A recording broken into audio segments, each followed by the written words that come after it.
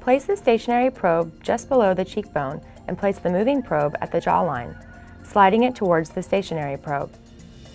When you reach the probe, hold movement for 3 to 5 seconds. Do not let the probes touch.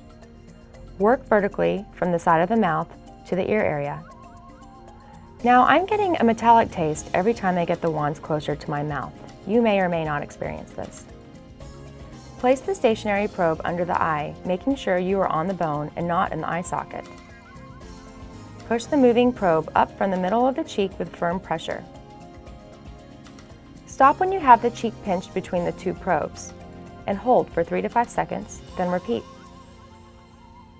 Continue out towards the edge of the eye, performing each movement twice.